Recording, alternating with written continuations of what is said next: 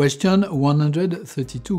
What is a component? Short answer, a field of a record. Less short answer, this definition is very precise. The elements you defined along with your record definition are called record components. The component word became a Java notion when records were added to the language.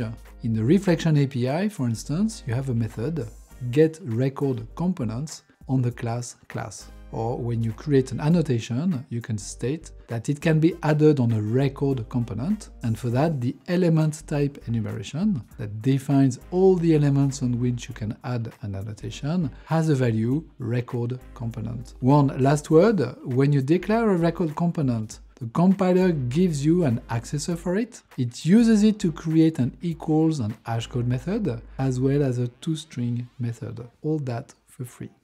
Neat.